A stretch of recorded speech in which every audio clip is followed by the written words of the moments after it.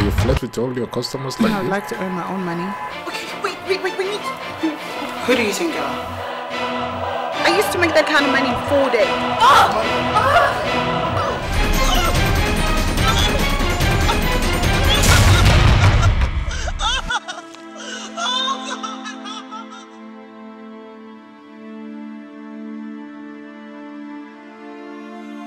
Victor! Please open, baby. I